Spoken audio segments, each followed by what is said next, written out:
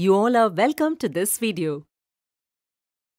In the previous video, we learned how to solve a quadratic equation by factorization.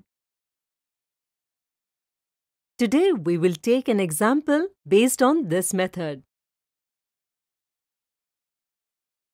After looking at a rectangular box, Hardik asks his father how much is the breadth of this box.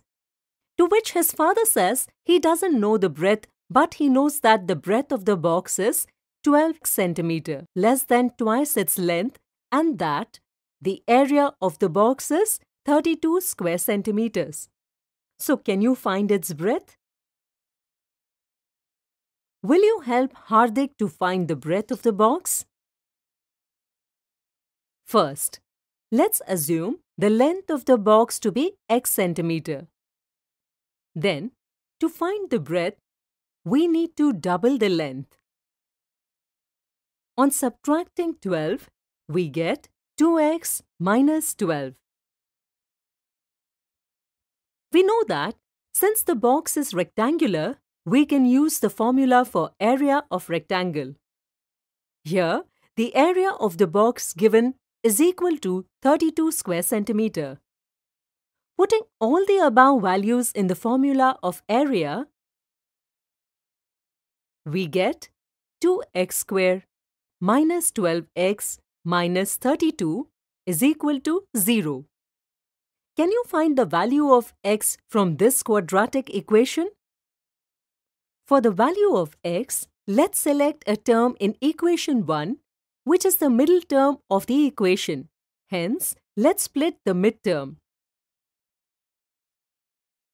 which is minus 12x is equal to minus 16x plus 4x.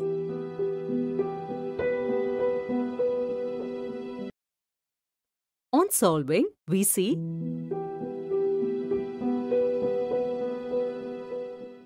that x minus 8 is equal to 0 or 2x plus 4 is equal to 0.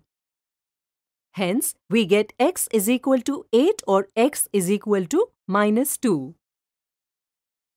Therefore, x is equal to 8 or x is equal to minus 2 are the solutions for the given quadratic equation.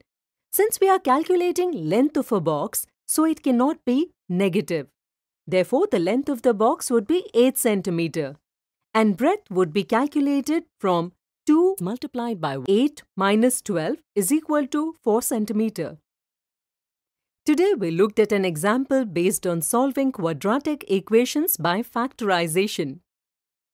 In the upcoming video, we will look at some of the commonly made mistakes while solving such questions.